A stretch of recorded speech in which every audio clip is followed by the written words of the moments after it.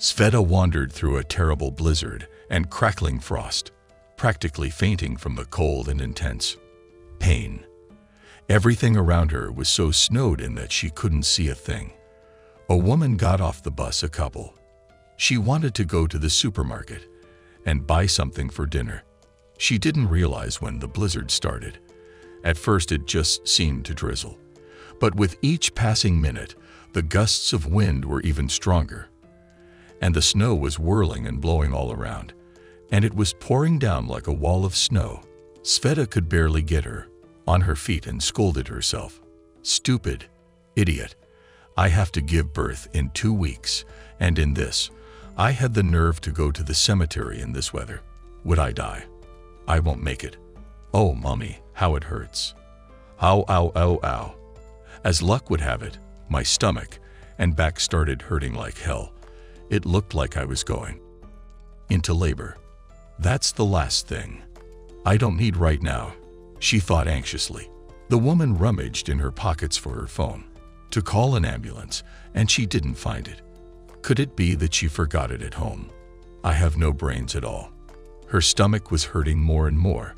She simply could not walk any further, and her hands and feet were numb from the cold.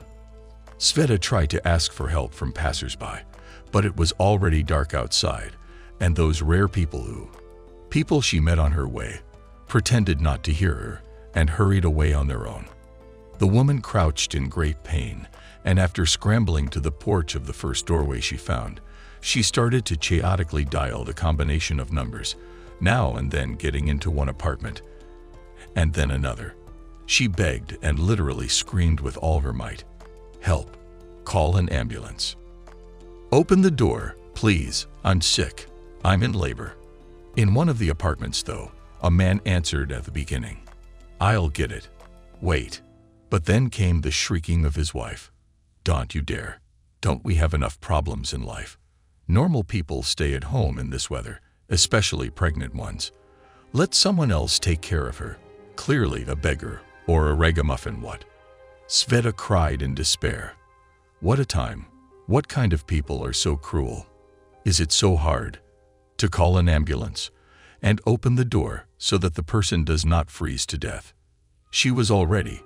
She could feel neither her arms nor her legs, only painful piercing contractions that burned like hot iron. Her legs were shaky and unsteady, and the woman dialed the number 46 one last time in despair. She whispered with cracked, dry lips, I beg you, open the door. I am dying. She no longer hoped that anyone would answer, just sat down on the porch, unable to stand on her feet, and prepared to die a long and painful death. Suddenly, a miracle happened, and a dry, gray-haired, elderly man came out on the doorstep. He was wearing a jacket hastily thrown over his shoulders, with only a light shirt underneath. When he saw the pregnant woman in her thin coat and shabby boots, clearly not intended for this kind of weather, he gasped and rushed to her. Woman, what's wrong with us? I'll call an ambulance. Come on, I'll help you at least to enter the doorway. Otherwise you can get frostbite. But who, in your condition, walks in such a cold? Young people. What are they thinking about? Sveta had no time to answer at all, only looked at her savior with eyes full of tears and gratitude, and cried out again from the strongest painful contractions and lost. Unconscious, Fedor immediately assessed the situation as critical. The woman was clearly in labor. He, he called an ambulance, even though he knew it would take a long time to get there in this snowstorm and on unpaved roads.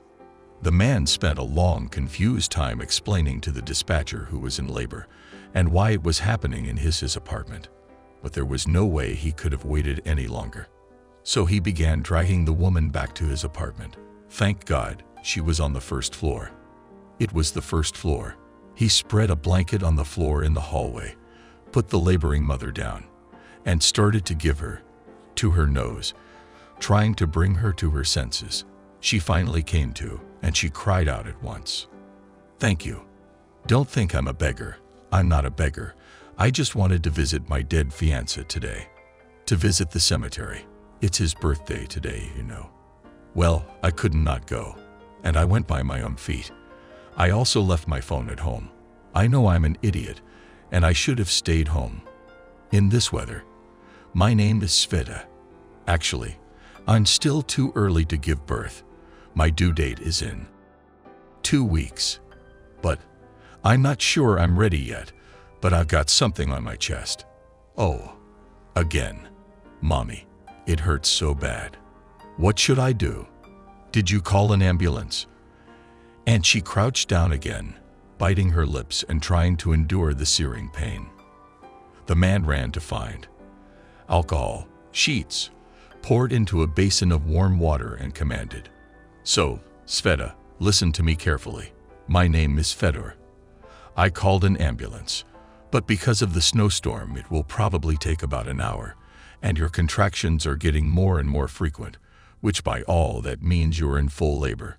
Don't ask anything, just trust me and do what I tell you to do. When the contraction starts, you have to breathe through your nose when I tell you to. And push, okay. I'm going to clean my hands and see where the baby's head is. Okay, okay, don't worry. I'm not going to hurt you.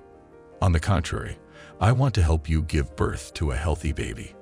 Try to help me too. Are you having a normal pregnancy? Are you registered? Is the fetus positioned correctly? It's important. Try to remember. And don't. Don't panic. We don't need hysteria. Okay, it started, right? Repeat after me. Inhale, exhale, inhale, exhale. Sveta wanted to argue that she was scared and she did not know the man. And anything could happen now. But the contractions really began to become more frequent and painful. She stopped to understand anything at all. She was drenched in cold sweat and as in a fog tried to carry out the man's commands. And the man acted like a true professional. And in half an hour an adorable baby boy was born, exhausted. But happy Sveta watched as Fedor deftly washed and patted him on the bottom. The boy immediately cried out, so high-pitched and loud that his ears popped. The man swaddled the baby expertly and put it in Sveta's hands. Try to feed him. Don't be shy. You may not have milk yet, but it's very important that it appears. Sveta was crying with happiness. She obediently did everything. Her son was really smacking his lips laughingly and tried to suckle. At last, the ambulance arrived. The young paramedic apologized for taking so long. They had, they had barely made it to the outskirts of town. He was astonished to learn that an ordinary senior citizen had delivered a baby so professionally. He was astonished to find out that an ordinary senior citizen had given birth in such a professional manner, and not in the conditions of a maternity ward, which has everything you need, but at home with nothing. Not every experienced obstetrician is capable of that. He started shaking his hand. I am shocked. You are a real hero. You saved a woman in the freezing cold and delivered her baby at home. And delivered her at home. Yes, you should write about you in the newspaper. I cannot believe that you have nothing to do with medicine. Fedor blushed. He was pleased with this praise and just waved his hand. Yes, it's a long story. I do not want to rake up the past. I'm just a security guard in a supermarket, that's all. The chauffeur, who had entered the apartment at the request of the paramedic, to carry the woman in labor on a gurney and take her to the maternity hospital, heard a fragment of this conversation, took a glimpse of the hero, and was taken aback. Wait a minute, that's the famous cardiac surgeon, Fedor Zvonkov. To him for operations recorded six months in advance. The driver jumped up to the pensioner and warmly hugged him. You're Zvonkov Fedor, cardiac surgeon. Right? You at one time, my niece, Alice, literally saved his life a valve on the heart. You changed her heart valve. She still remembers you, the jerk. What are you? Pardon me, a guard. Where did you disappear so? So unexpectedly. What a meeting. So you know how to deliver a baby. Respect and honor to you. Man even more embarrassed. Oh, come on. All about me to me. Svetashka there. Better help. because, frankly, it was the first time I delivered a baby in my life. You never know. With a fright, I remembered everything I learned at the university. At the university, let her gynecologist look at it, but for the kind words, thank you. I am very pleased. The woman and baby were taken away to the hospital. She parted firmly squeezed his withered little palm and whispered with gratitude, Thank you.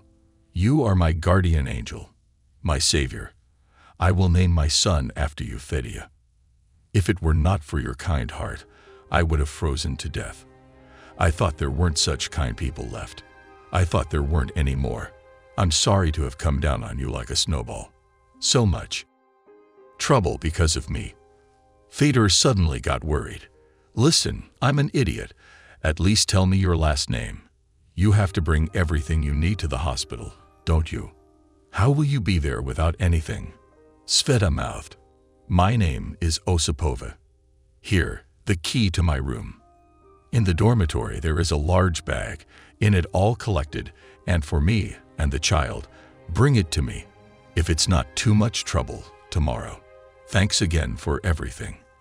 And she dictated her address, explaining the best way to get there. Then she cradled her son gently, and they took her to the maternity hospital. And Fedor cleaned everything in the apartment, and began to go over his past, and he was so bitter his heart ached. Just 10 years ago, Fedor Zvonkov was a famous cardiac surgeon. He operated in the most prestigious hospitals in the capital, had a wife, Lena, and a son, Vanya. My wife worked. The wife worked with him in the department as an anesthesiologist, and she was also loved and respected for her professionalism. They had met many years ago, when they were medical students, and they never parted. Fedia did not know how to make beautiful confessions. He was a very shy and modest young man, although he fell in love with Lena, the perky chuckler and jolly girl from the parallel string, immediately.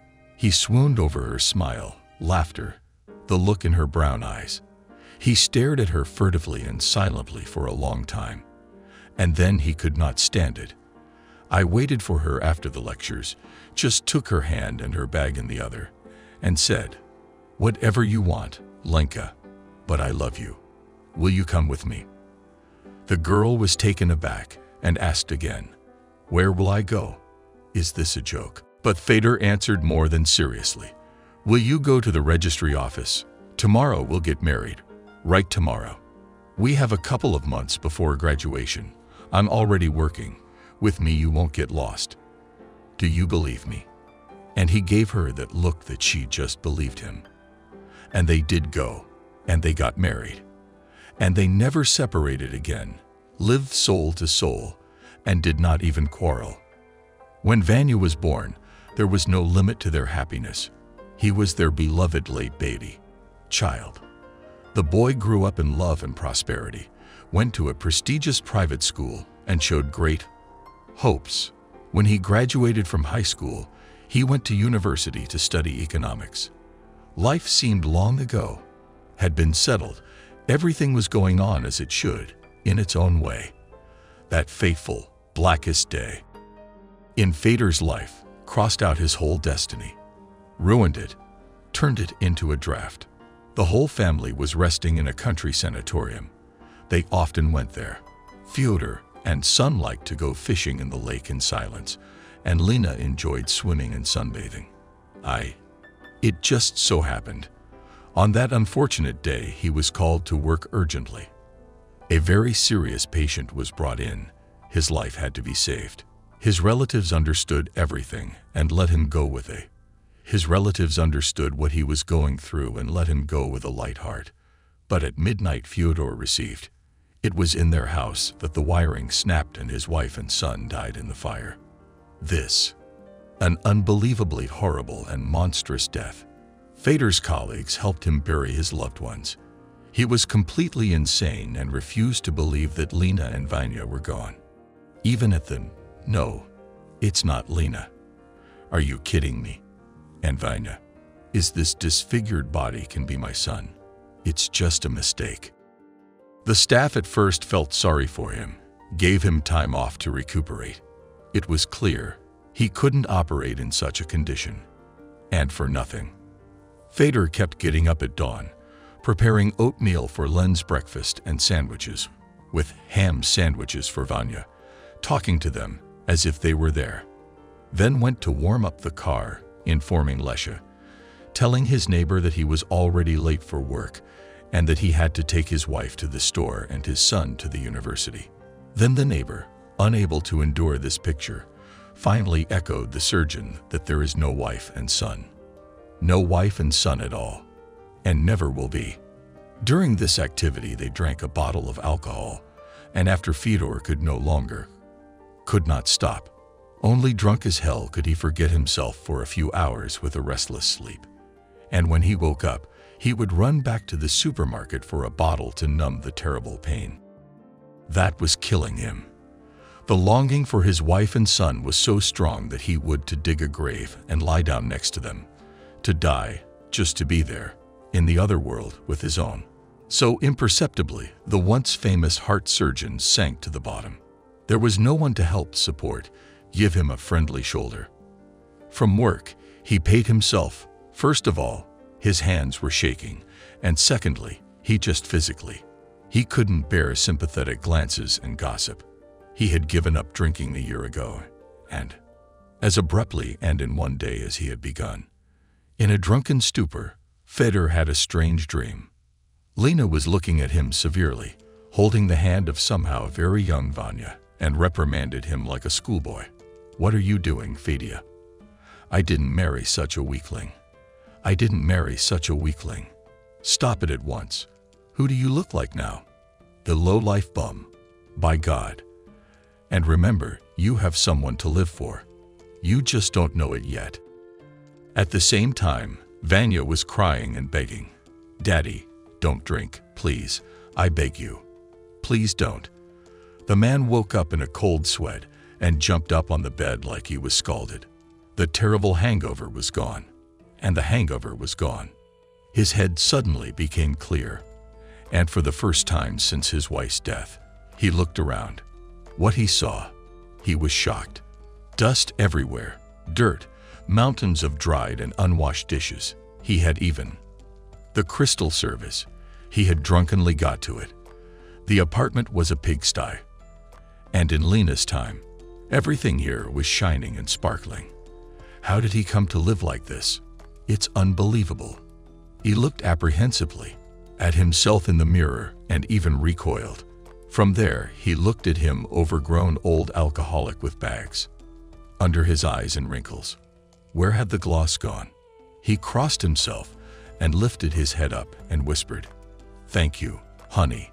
I got it. Not a drop more. Since that day, Fyodor had never had another drop of alcohol. The neighbor, the one with whom he had started his drinking spree, was shocked. How could that be? What willpower and Fedor began to clear away the rubble and put the apartment in order. It took him almost three weeks of titanic labor. He took out mountains of empty bottles and turned them in. He spent a lot of time cleaning the place and making it tidy. Finally, when everything was as shiny and shiny as it had been when his wife was alive, he settled down. Then the man took care of himself, bought new, neat clothes, got a haircut, shaved, and even got a, a job at a supermarket as a security guard. He worked hard, and his colleagues respected him. So as not to go crazy on weekends at home from boredom and loneliness, he got a kitten and named it Chernish. The pet was just a charm. He was black, and on the neck, as if someone has tied a white tie. Too, he was so cute.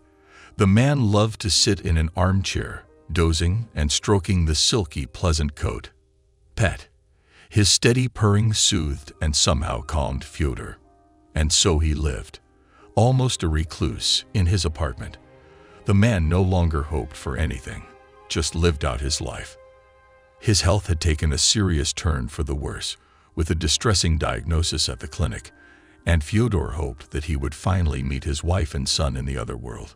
But today's incident suddenly broke into a whirlwind of his boring, lonely life and turned it upside down. After Sveta was taken to the maternity hospital, Fedor got up early in the morning and rushed to her dormitory to pick up a bag of things for her and the baby. Even at the entrance, the awful smell of alcohol, cigarettes, and fried cheap fish knocked him off his feet. On seeing him, an unpleasant-looking older woman, whose face clearly showed traces of a turbulent life, sneeringly remarked, Wow, our orphan what? Has she turned to old men, or has she found her father? And she laughed loudly and shrill. Pensioner looked at her reproachfully. Shame on you. Sveta in maternity hospital. Here, she asked me to give her a bag. Is it possible so about people? You're a woman too.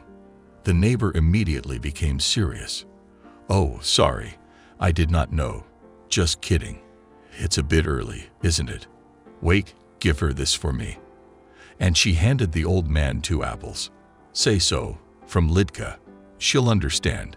Sveta's a good woman, but she's unlucky. Although, you know, the lucky ones don't live here. When he entered the miserable cold room and looked around, he was horrified. The old windows were blowing mercilessly, even though the woman had caulked them up with absorbent cotton and scotch tape, and the door was flimsy, hanging on by a thread and you could hear everything from the hallway. The room was very clean and tidy. All the things and books in their places. The pensioner took a quick look at the bag, and it was not dense there either. Only the bare necessities for the baby were there, and they had obviously been sewn by himself. In the center of the table, in a black frame, stood the portrait of a young handsome boy. Next to him stood a glass of vodka and black bread on top. It turns out that not long ago in this poor woman's life had had some tragedy in her life too. She did say something about why she was in the cemetery. After locking the door, the pensioner determinedly went to the store and bought diapers, bottles, and some clothes for the baby, and a new winter jacket for her, and an overalls for the newborn in a beautiful blue color. He begged the nurse by slipping her a chocolate bar and she let him into Sveta's room for a while, especially since she was there alone. The woman was very happy to see the old man and began to hug him as if he were a friend or close. Relative. Hello, Fedor. Thank you for everything. Again. Oh, how nice of you to come. Otherwise I'd get bored here with Fedya. I've got him. He's so calm. He sleeps and eats according to schedule. Just a miracle, not a baby. The man felt sorry for me. Did you really name your son Fyodor? You respected the old man. Very nice. Let me have a look at the boy. Oh, he's chubby. He's so handsome. How are you? How's your health? Are you going home soon? Sveta mouthed. Everything is fine. The doctor said that the birth was a real professional, but scolded me, of course, for carelessness. I was really stupid. I went to the cemetery in that position. I just feel so bad and nauseous without Oleg. Just my heart is torn to him. I would have lived there, in that cemetery, just to be near him. And she suddenly burst into tears, childishly. The tears rolled down her cheeks in large drops. She shuddered her skinny body. Fedor felt unbearably sorry for her. He sat on the edge of her bed, gently took her hand, and began to whisper, I understand you, my daughter, as no one. Believe me, I lost my wife and son myself. I drank a lot. I hit rock bottom. I barely made it. I know how it hurts and hurts inside. I want to howl and scream, beat the walls with my fists and beg, and beg the heavens to have mercy on you and bring your dear one back. You speak out, it will be easier. Sveta again looked at him gratefully and quietly began to tell, You see, I am an orphan. Grew up in an orphanage. What just have not suffered for all these years. All those years. You wouldn't wish it on anyone. I was locked in a storeroom, teased, and malnourished. It's been so many years. And I still can't eat bread. When I see someone throwing it in the trash, my heart bleeds. When I finished, I was given that miserable little room. They didn't have any relatives, they knew. They knew I wouldn't complain and who would listen to an orphan. I tried, of course, at least to repaper and paint the floor. But you saw for yourselves, they need a complete overhaul. And I won't even say a word about the common areas. Quiet horror. You can't wait for the ceiling to fall on your head. I went to school to become a seamstress. I graduated with honors. I was already working part-time, taking home small orders from people. I got help from all over the world, neighbors, classmates chipped in and bought a sewing machine for my birthday. For my birthday, a sewing machine. That's how I met my Oleg. He brought me pants to him, one word at a time. One thing led to another. We got to talking. We liked each other. We started dating. My fiance was a construction worker. A construction worker. He was paid well, so we rented an apartment. He wouldn't agree to live in mine. There really are no human conditions there. Everything was so wonderful. We loved each other, just without memory. Even though we're both hot-tempered, we're not vindictive. Right away we hugged and kissed, and there was no resentment. And there's no resentment, no resentment at all. And what poems he wrote me himself. He'd get up at night while I was asleep, write it, and in the morning, he'd put it on my pillow for me to read. It was so pleasant. We filed a registry office application. Oleshik was also. He was all alone. His grandmother brought him up. She died a long time ago. We decided not to. Celebrate the wedding. We decided not to have a wedding, just a modest wedding. And then I started vomiting in the morning. I went to the doctor and found out that I was pregnant. I was very worried how I should tell my fiance that it might be too early. We somehow have not discussed this question yet. We thought we would live a little for ourselves and then have children. But Oleg was so happy, he really wanted a baby. We started saving every penny so that the berth, and a stroller and a good crib and a nice crib. But my fiance spoiled me, bought me bananas and oranges. No one ever took care of me ever cared for me like that. Like he did. He cared if I was eating well, so the baby would get his vitamins. And that day I was just finishing sewing a dress for a customer when the phone rang. When they told me that Oleg was gone, I just could not believe it.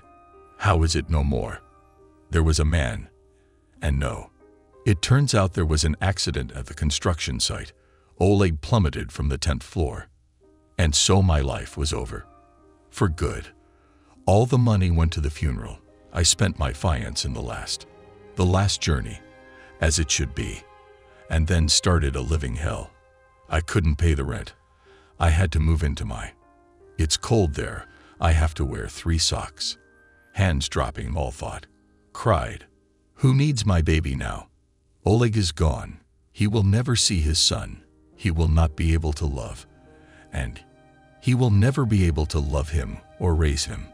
Would I be able to raise a child on my own? And my heart just tore at my beloved. I couldn't forget him. I can't forget him. I miss him terribly. It was only when you gave Fedia to me in your arms that my heart finally warmed up. I feed him, and it feels so good, my little bundle of joy. But still, it's very scary to be alone with a baby. Sometimes panic sets in to be honest. I don't even know how to take care of him. I don't even know how to take care of him. What did they teach us at the orphanage? Fyodor listened with tears in his eyes of that poor woman, and he almost cried himself to tears. So similar is their condition after the death of their loved ones. But he, an adult, established in life and profession man, took and broke down. A, this young woman, left alone with a black grief, took this battle, not dropped her hands. He was touched and said firmly, You know what, Sveta, I have a proposition for you. I'll take you and the baby to my place after discharge. What do you need there in the cold to crawl? You think it over. How and where to bathe the baby there. It's drafty all around. He's bound to get sick. And I've got a big three-bedroom, plenty of room for everybody. You already know me. I'm the closest thing we've ever had to getting to know each other. I'm a simple, non-confrontational person. I think we'll become friends. It's good for you. And I don't get bored. I'll help you with the baby. And my cat, Chernish, will be happy. Well, do you agree? Sveta cried again and cried out, Oh, thank you, Fedor. I'm terribly embarrassed to have fallen on your head with my problems, but I think I'll take your offer and live at least for the first time. I'm really worried about my son. There's no way he's going to, not a life. I've been sick three times. I don't know how to thank you. You're just a golden man. After the man left, Sveta began to disassemble the bag and almost cried again. There was so much, all the things she needed. It's all finished, Fedor. What a good man. After all, she is, in fact, a complete stranger. A complete stranger to him. Why was he so concerned about her? For her, who had grown up in an orphanage and had never known, or tenderness, was so wild such a manifestation of simple human participation in her fate. And even if she did not understand the motives of such nobility, she was very pleased. And so they all began to live together. Sveta, little Fedia, Fedor, and the cat Chernish. The woman at first felt shy and awkward every time she asked if she could take this or that. But soon everything fell into place, and she felt so cozy and comfortable in. She felt that she and Fyodor had known each other for a hundred years. He gladly helped her to take care of the baby and taught her a lot as a medical man. Sveta fed the old man with delicious borscht and meatballs, and sometimes pampered him with cakes. The cat Chernish liked to lie down at the baby's feet and purr and cradle him in his own way. The only thing that really bothered her was that her savior often had a bad headache. She measured the pressure, a little high, but not critical for his age. The woman often secretly watched him, trying not to show his pain clenching his fists so that his knuckles turned white, drinking handfuls of the strongest painkillers. But when she tried to ask Fyodor directly what was wrong with him, or suggested that he see a doctor, he just waved. Don't worry about it. It's all nonsense. At my age, if you wake up and nothing hurts, then you're already dead. It's all in the change of weather. But the woman knew he was just a distraction. He really does not want to tell the truth. She hoped that he would later reveal himself and tell everything. She did not want to pry into the soul of a man by force. One day Sveta started a general cleaning, and Fedor, not to interfere, volunteered to take Fedia Jr. for a walk. He affectionately called him grandson. When the man returned, an hour and a half later, he found Sveta looking at the portrait in amazement. She asked in surprise, where did you get this photo? I know this guy. Is he a relative of yours? Fedor almost cried. Yes, honey. It's my son, Vanya. May he rest in peace. I put all the pictures of him and his wife in the closet on purpose. Not. I still can't look at them without tears. My heart hurts. How much time has passed, and I still blame myself for, for that fire. I blame myself for leaving, for not being there. Maybe things would have been different, and I could have saved my family. Or I would have burned with them. We'd all be in heaven together. And now I'm stuck here alone. Sveta waved her hands. No way. That's Dennis, my dead fiance's friend. He's a paratrooper. They served together. He was at the funeral, too. And before that, he sometimes came to visit us. I'm not out of my mind yet. How is that possible? I don't get it. Do I? The old man thought hard, remembering something, then said, You know, Svetochka, actually my wife gave birth to twins. But when she came to herself after complicated birth, she was told the terrible news that one of the babies was stillborn. We, of course, we grieved, buried our son in the cemetery, everything as it should be. There could be no mistake. I personally handled the funeral, my wife couldn't stand it. She was crying so much. She even lost her milk on nerves and had to feed Vanya with formula. I want to find this Dennis. You said you have a picture of him. Will you show me tomorrow? Do you know where he lives? Sveta enthusiastically took to helping Fyodor. It was a mystery that kept her busy. She wanted to quickly find out and understand how this was possible. That two complete strangers to each other were like two peas in a pod. After all, such miracles simply did not happen. The woman went home and brought back the very picture of Denis and her late fiancé, Oleg. The old man looked at it for a long time, compared it to the portrait of his son, and was amazed. You're right, just like copying. I thought, you were exaggerating. Really just look alike. I have never seen that. How are we supposed to know where, where he lives? I just can't wait to talk to him and find out everything. Who is he?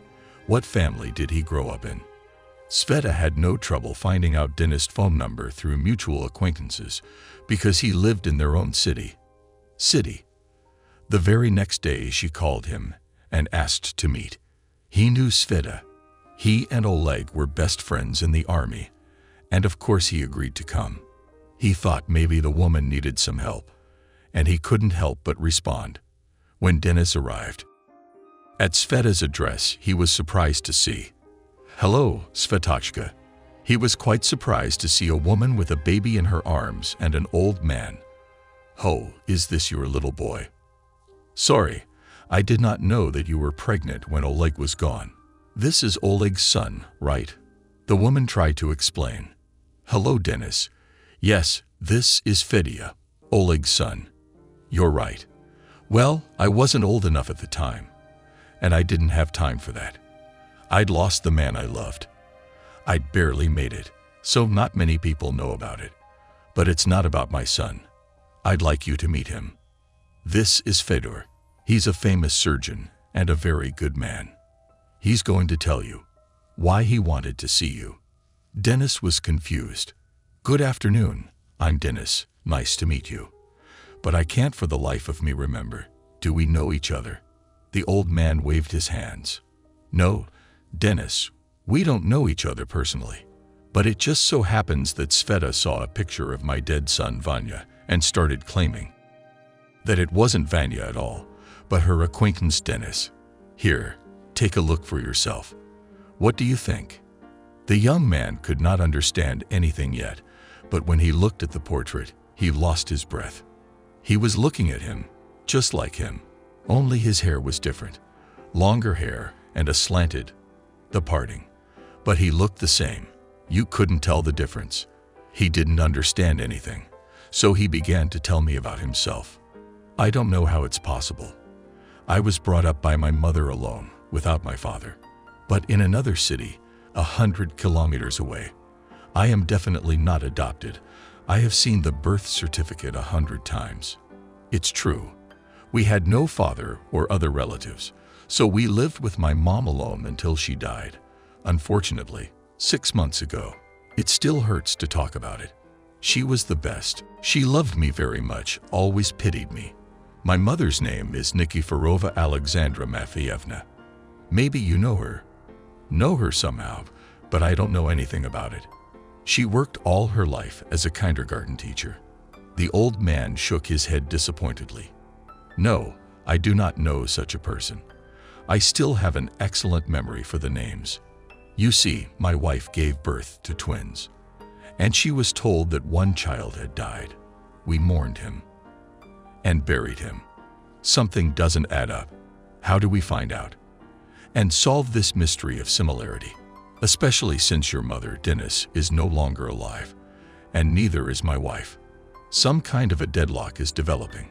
Dennis thought for a while, then suddenly exclaimed, Listen, so you can go to a private detective agency. Maybe they can help find a clue. The old man suddenly perked up. That's right, I'm an old fool. No brains at all. I've got a good friend. I once saved his life on the operating table. I remembered he gave me his card. He said, I'll solve any problem. I don't throw things like that away, just in case they come in handy. If he hasn't quit and retired yet, he will definitely help. A very good investigator, Pavel Zbruv.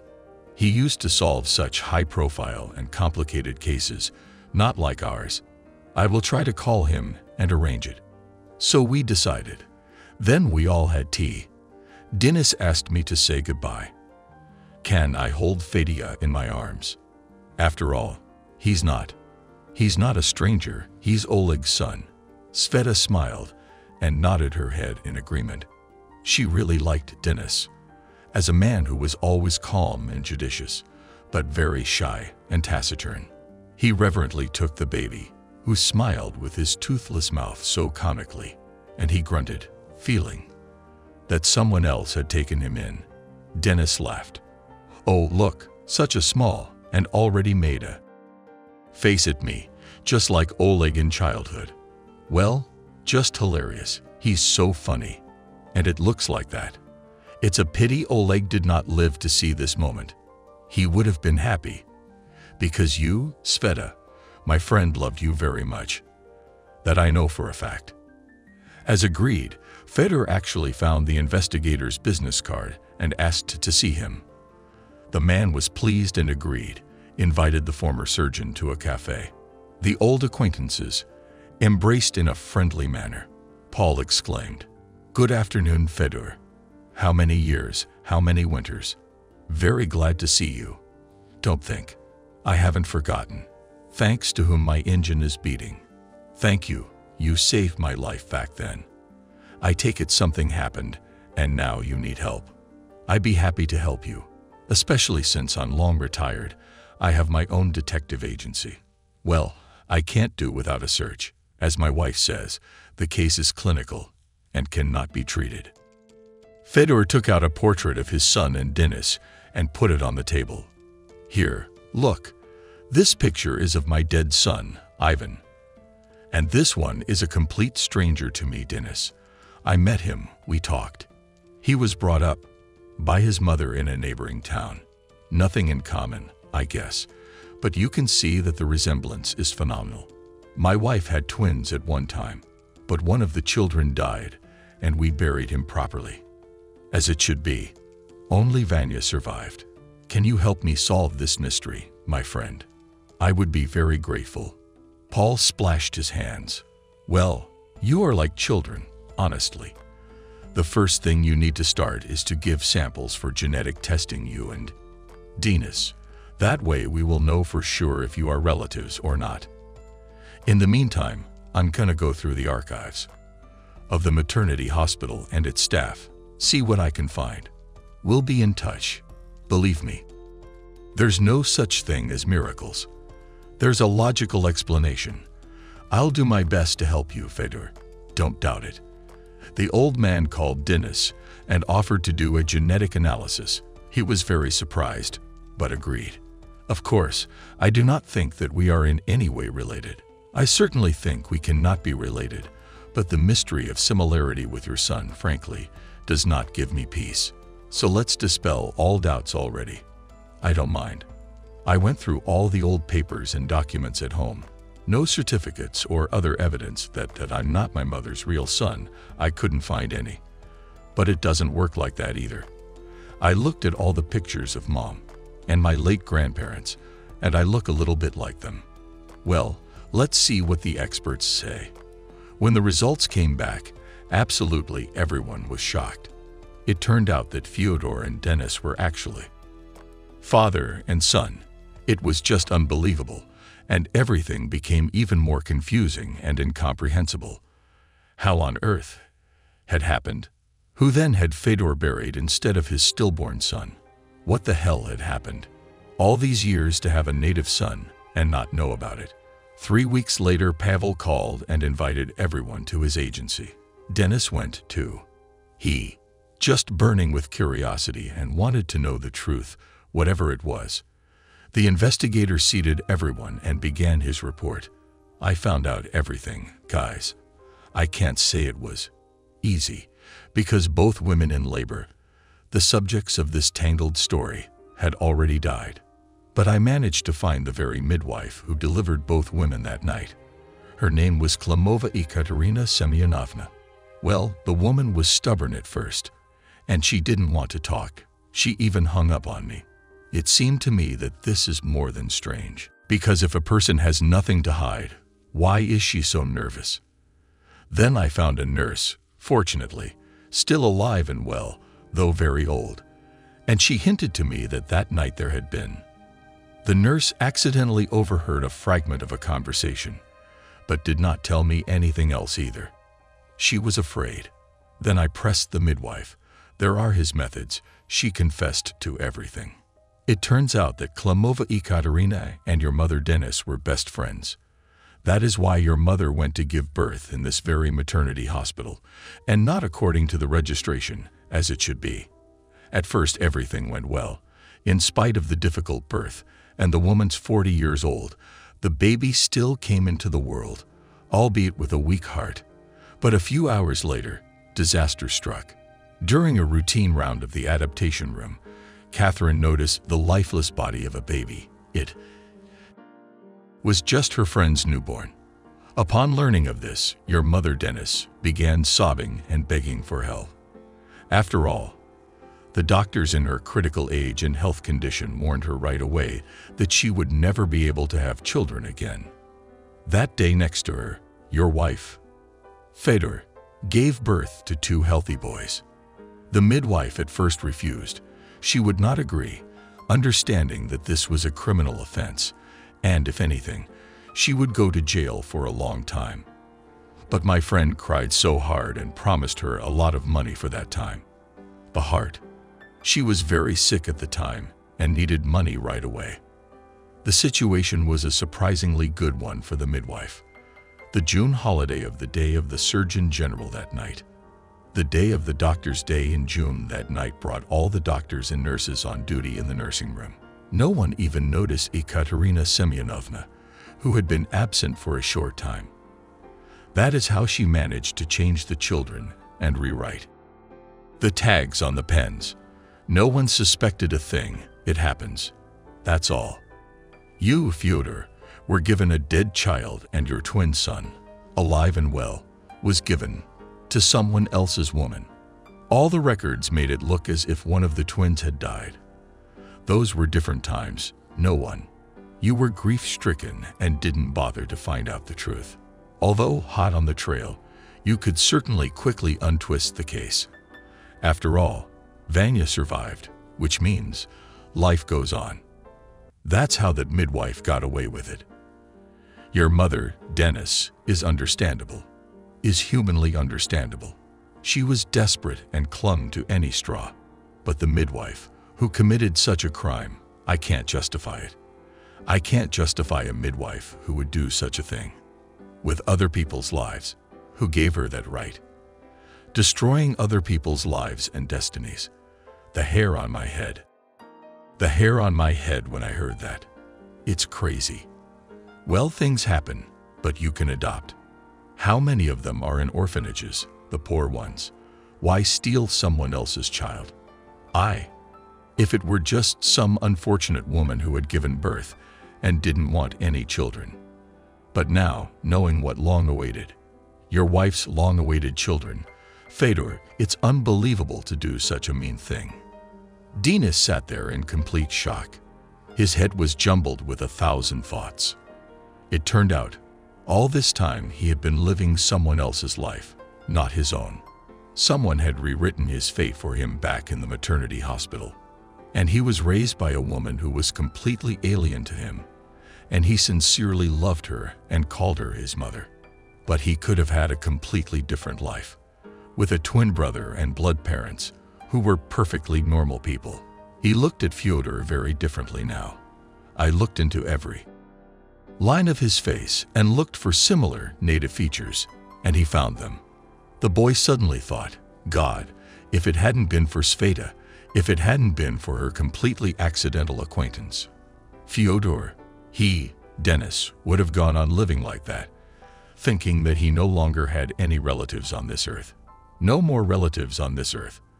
But it turns out that he and his own father live in the same city, walk the same streets, and are completely unaware of each other's existence. In a burst of emotion, he walked up to the old man and for the first time hugged him warmly and truly sincerely. Hello, Daddy. I'm glad we found each other. We have a lot. We have a lot to talk about and a lot to catch up on in our relationship, but I know the main thing, we are together now. And I won't leave you, no matter what happens. Fedor even cried. He was so nervous. Suddenly, a severe headache. Suddenly, a severe headache came into his eyes, and he lost consciousness and collapsed on the floor. Paul and Dennis were terribly frightened, called an ambulance, and began to try to bring the old man to his senses, splashing cold water on him. Finally, little by little, Fedor began to. Fyodor started to regain consciousness. He felt a little better. Dennis began to ask him questions. What's the matter with you, Dad? Do you often feel so bad? The elderly man sighed and confessed. Well, to be honest, six months ago, they found an aneurysm of cerebral vessels. I couldn't understand why I had such severe headaches. No pills helped. My vision started falling, double vision, often nauseated. And when I learned my diagnosis, I gave up on everything. The only thing that could help was surgery. Otherwise, the tumor would just burst, hemorrhage into the brain and die. Surgery costs insane amounts of money. I never had and never will. And who needs me? The sooner I die, the sooner I'll meet Lena and Vanya in the afterlife. The only thing is that the attacks became more and more frequent, more and more often, especially if I get nervous. I hope I don't have long to suffer. Dennis ran up to the old man and hugged him. What are you talking about, Daddy? I need you. Sveta needs you. I've only just found my own father, and you say it won't be long now. I'll find out everything. I'll take you. And I'll take you to a doctor, and we'll fix you. I want you to have an operation and get better. For my sake. Do you hear? That same day, Dennis went for a walk with Sveta and the baby in the park and began to tell her everything. Did you know that Fedor is terminally ill? Why didn't you tell me? It turns out he needs an expensive emergency surgery. He fainted today in a private detective's office. Can you imagine? And he is also my own father. Sveta was shocked by what she heard. Actually, he often takes some pills and complained of headaches. But how many times I did not ask him. He kept silent. Apparently, he didn't want to upset him. We have to help him. There's no one else. He's a wonderful man. My son and I owe our lives to this holy man. Now I understand why Fedor decided to leave his apartment to me. What should we do, Dennis? Why don't we take out a loan? We could try to sell my shabby room, but it wouldn't fetch much. For it, of course. And I don't have anything else. The guy thought about it, and then he answered, I'll sell the car. That should be enough. I'll do it tomorrow. I don't need that pile of iron when a man's life is at stake. In the meantime, find a clinic and a good surgeon. Time is of the essence, and time is of the essence. I just found my own father, and I cannot let anything happen to him. The young people got actively involved, and within three weeks everything was ready. And Fedor was. Three weeks later everything was ready, and Fedor was admitted to the ward for surgery. Everyone was very worried. Dennis and Sveta took turns being on duty. Everyone was very worried. And Dennis and Sveta took turns being at the hospital and sitting with Fedya the younger. During this time, the boy became so attached to the baby, just with his heart and soul. With his soul, he learned how to bathe and feed him, cradle and play with him. Fedya always smiled at him and very rarely, and very seldom did he get naughty. Dennis often caught himself thinking that he could no longer imagine his life without Sveta, Fedya, and Daddy. What did he have before that? Work, friends, and loneliness. In an empty rented apartment. There were, of course, girls. He was a good-looking guy. But no matter how many times. Dennis tried to start a serious relationship. It didn't work. It just didn't click. He didn't get the feeling inside that that was it. Mine for life. He was not interested in short flings. He wanted a long and serious relationship. But all of them were calculating girls. If you buy an expensive gift, take her to a cafe. She's yours. If it's just tea in the kitchen, then sorry, goodbye. Now he often watched how this seemingly ordinary, unremarkable woman cleverly cooks dinner, babysits the baby, and involuntarily admired her. For some reason, my heart was beating very often. He wanted to hug her, hold her, touch her, kiss her, but he always told himself not to. Don't you dare, she's almost your best friend's wife. How will it look if we get close to her? What if she gets offended or misunderstands? Sveta often thought about Dennis too. She compared him with Oleg and listened to herself. They were completely different. Oleg was so emotional. Open, his emotions were written all over his face, and Dennis was silent, always thinking about something and looking at her strangely. But why was she attracted to him? As if by a magnet. She was even a little ashamed. It seemed that she betrayed the memory of her fiancé, thinking all the time about another man. But the more Sveta tried to run away from their feelings, hide them away in the farthest corner of her soul, the more she felt that she needed Dennis like air.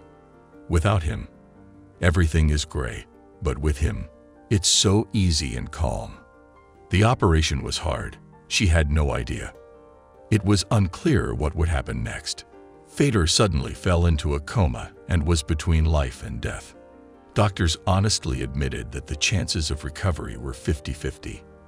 But Dennis and Sveta believed that he would recover and every day they took turns being on duty at his bedside. They talked to him, read to him, told him how much they loved him. Three weeks passed, and the man still did not come to his senses. Then Sveta took a risk and deceived the nursing staff, waiting for a moment when no one was in intensive care. She came to the old man's room with her son. She literally carried him through the sinuses. She whispered to him, don't let me down, my darling. Be quiet. We're going to save Grandpa. And he seemed to understand. He didn't make. He didn't make a sound, just sniffed to himself. The woman went into the room. She sat down on a chair and started talking. Hello, Fedor. We miss you a lot. Fedia, especially. Get well. Hurry up. We feel so bad without you. You're like a father to me. Dennis is exhausted. They say I've read that there's a bond between the person who gave birth and the baby. Let's check it out. She carefully put the baby next to Fedor. After all, you were the first to hold Fedia in your arms. You took Fedia in your arms. You gave him life. Listen to the song my son and I are singing for you at home. And we pray that you'll get well soon. And she sang softly a lullaby. And the baby echoed her and in his own way he hummed and sang along, and at the end he babbled something that sounded like a grandfather's word. Sveta shrieked, Wow! Fedia called you grandfather. Do you hear? He loves you too. Wake up, please. You must, must live. And then the old man's eyelids fluttered open, and he began to try to move his fingers on his hand. All the readings on the monitor beeped and blinked. Sveta grabbed the baby jumped out, out of the room and ran to the nurse on duty. Hurry, in the intensive care unit. Their Fedor seems to come to his senses. She hissed at her in horror. Oh, gave you permission to go in there with a baby. You'll get me the hell fired. You've gone completely crazy. Come out into the hallway right now. All this time, Fyodor was as if in a kind of enveloping viscous fog.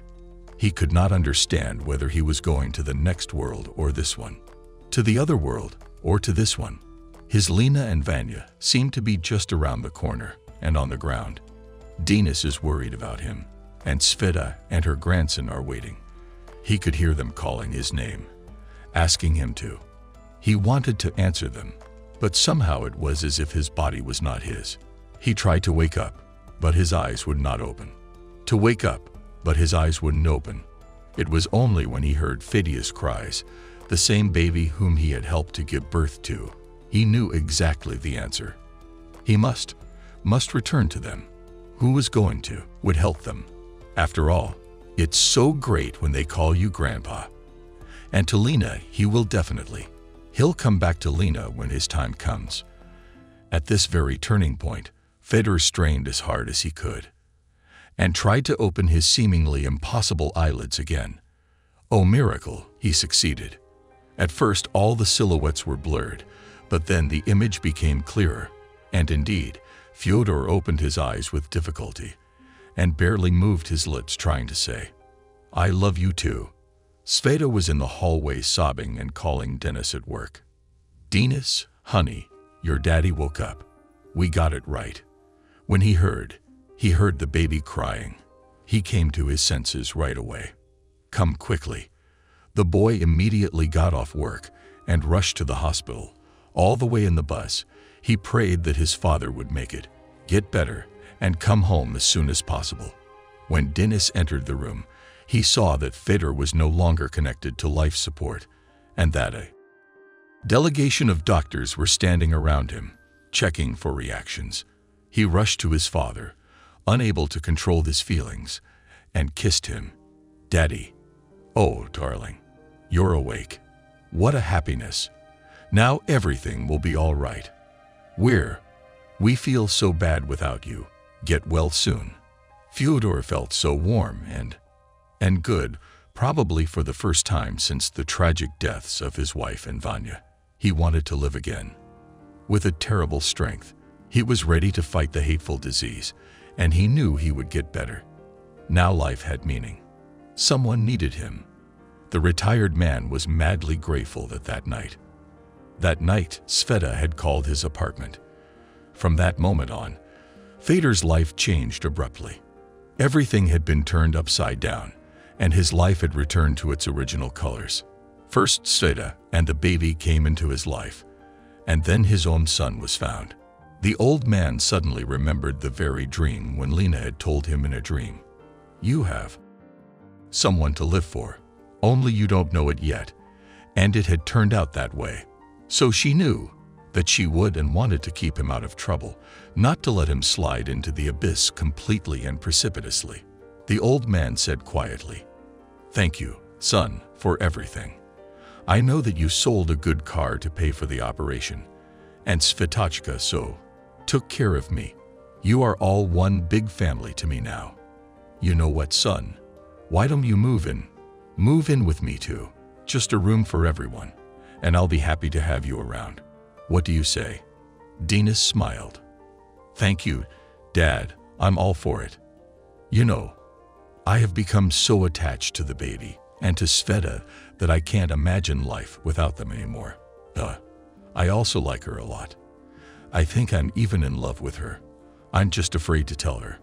After all, she is the fiancée of my dead friend Oleg, and somehow I am embarrassed in front of him, even though he is dead.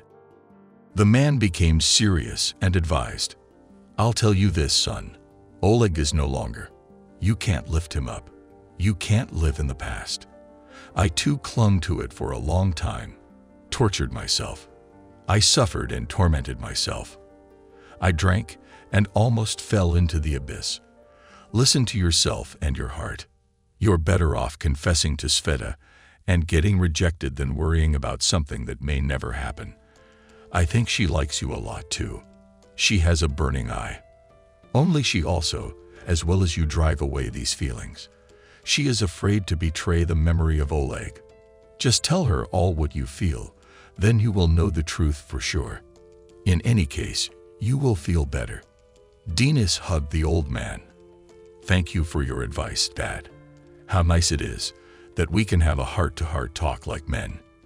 You know, every time I say, the word daddy and savor it. All my childhood I dreamed of my father. I missed him so much. But I want you to know that in spite of everything, I don't blame my mom for anything. What she did, of course. Terrible, no doubt. But she loved me completely sincerely. I felt it and always knew it. She tried to say something to me before she died, but didn't have time to say it. I only understood the phrase, Son, Son, I'm so sorry to you. You forgive me. But I thought she was just delirious in her fever and didn't. I didn't pay any attention to them. And she apparently wanted to repent after all. But she went to heaven early. From that day on, Fedor began to make a speedy recovery, and two weeks later he was brought home. Upon entering his apartment, he immediately noticed the changes. Sveta just fluttered about. Her eyes shone and shone with real happiness. She even looked so different and transformed. She had a fancy haircut, styled her hair differently, and her cheeks were flushed. The table was overflowing with of treats. Fedor, the head of the family, was seated in the middle, and they began to feed him with delicacies. Sveta and Denis kept looking at each other slyly, but tried to pretend that they were just friends. It worked, to put it bluntly, not very well. Then Fedor couldn't stand it, laughed, and said, Why are we like children? I got it. You're together now. Why are you hiding? I'm very glad of it. Now we are one big friendly family. There's no greater reward for an old man. Love and advice. You? You're both worthy of it. Isn't that right, grandson?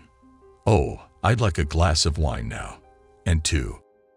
To your health and mine. But you can't. I promised Lena. So, pour, Sveta, peach juice. And Fedia happily started humming and smiling like a little son. Everyone felt so easy and good at heart. They matched each other perfectly, as if they had already. May everything go well with them. They deserved it.